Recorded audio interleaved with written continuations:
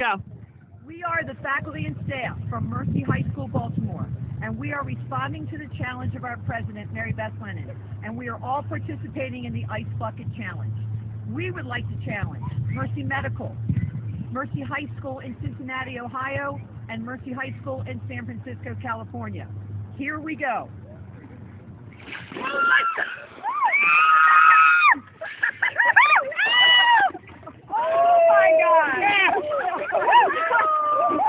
Oh,